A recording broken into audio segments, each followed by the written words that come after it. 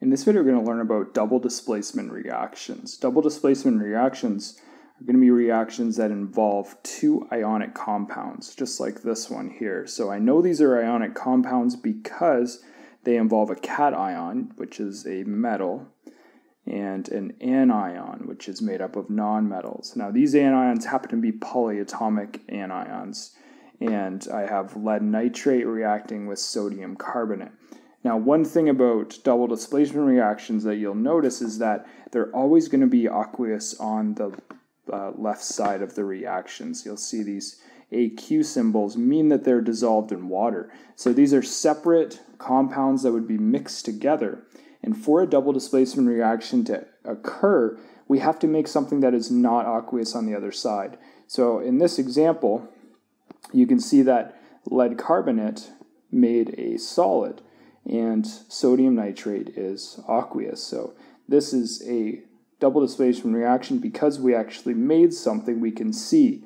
Remember that if it's dissolved, we can't see it. It means it's uh, you know hidden in the water.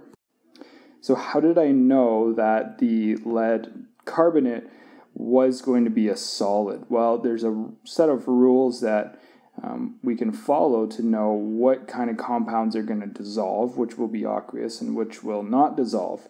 So, if a compound is soluble, that means uh, that the substance will dissolve in water.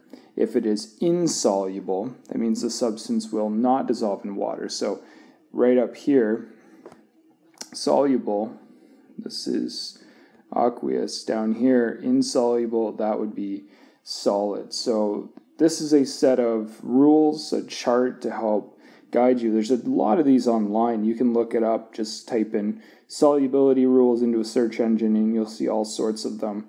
Um, but there's something you'll definitely want to learn and kind of memorize so you'll know these ones.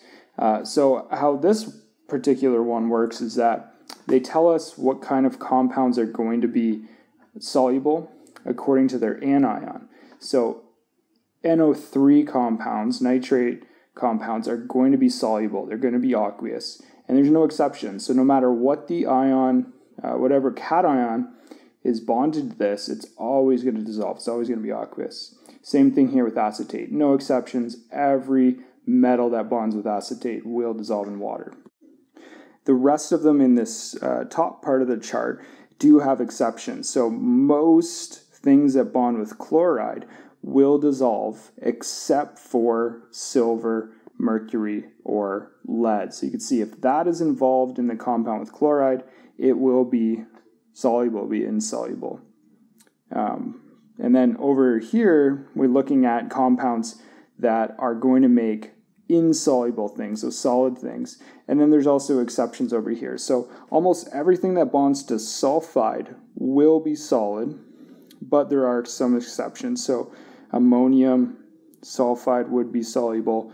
Uh, an alkali metal, so anything in group 1 in the periodic table, will be soluble. And then you could see calcium, strontium, and barium. So that's how this one works. We're going to use this to see if we can't uh, predict the products of a couple examples here.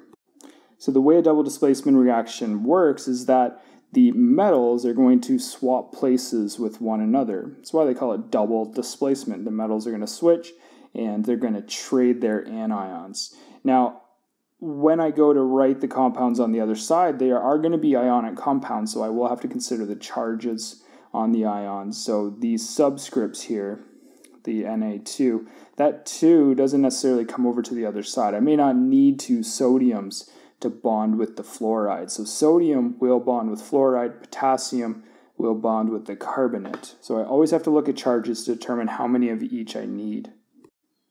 And then I'll just mention one other thing before I start solving this that you'll want to do before you start writing the products is figure out if you're actually going to make anything that is insoluble on the other side. So what I like to do is check out the compounds that will be formed. Sodium is going to bond with fluoride.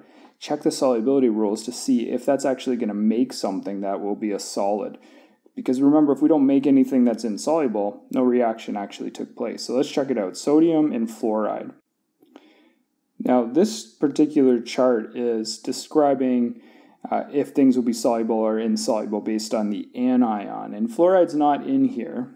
Now you can look up other solubility charts and, and find uh, more expanded ones. But um, if you notice, every insoluble compound here, they mentioned these are all going to make insoluble things. The exception um, that we see consistent here are alkali metals. And alkali metals are going to be soluble, they're up here, no matter what they're bonded to. So sodium is an alkali metal.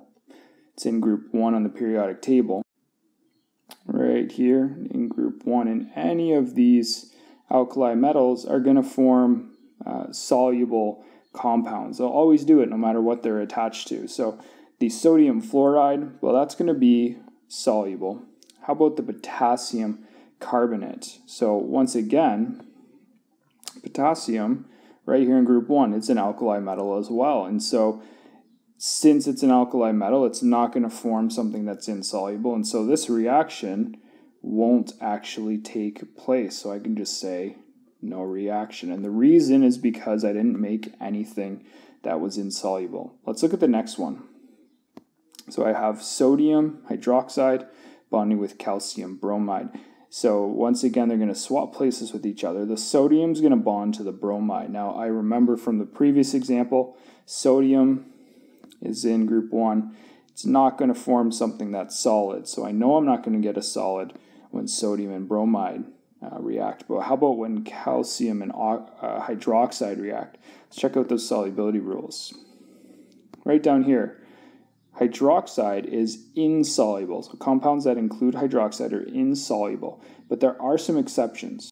The way that this chart is set up is that uh, these exceptions will form an aqueous substance, it will be soluble. So we'll check to see if that calcium is in there, and it is. And so this one will not make a reaction either.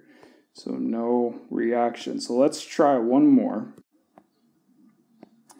And so this one we have lead nitrate that's reacting with hydrochloric acid over here. And this is an ionic compound, even though it doesn't look like it, because we know hydrogen is a nonmetal and chloride is a nonmetal, but this is the hydrogen ion. So it's a H plus ion. So it's going to work just like any of the other double displacement reactions we've seen, where we're going to have those two cations swapping places with each other. So I'm going to end up with hydrogen bonding to nitrate. And let's check this one out. See that compounds that contain nitrate are always going to be aqueous. There's no exceptions to that.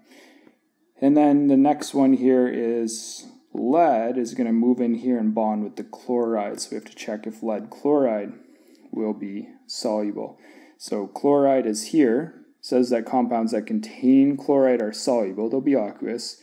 But here's the exceptions, and lead is the exception. So that means lead chloride will be solid. So let's go ahead and write down what these new compounds are going to be. So we'll start with hydrogen. Hydrogen is going to bond with the nitrate. Remember that I'm not necessarily going to bring two nitrates over to the other side. And uh, the charge on nitrate is minus 1 The charge on hydrogen is positive 1 because hydrogen is here in group 1. Everything there have a positive 1 charge. So I only need one of each. We'll have one hydrogen and one nitrate. And it's not going to be solid. It's going to be aqueous. It's going to be dissolved. And that is going to be added to the lead and the chloride that are going to bond. So lead is over here it's a transition metal, and so it could take on a number of different charges. But we know its charge because over on this side, uh, it's bonded to two nitrates. Remember, the charge on nitrate is minus one. There's two of them, which means the lead has to have a two plus charge. It's going to keep that charge over to the other side. Chloride, on the other hand, has a minus one charge because it's in group seven. Everything here has a minus one charge. And so I need two chlorides to balance out that lead. So I'm going to end up with PbCl2. That is solid. I just have to go ahead and balance this now.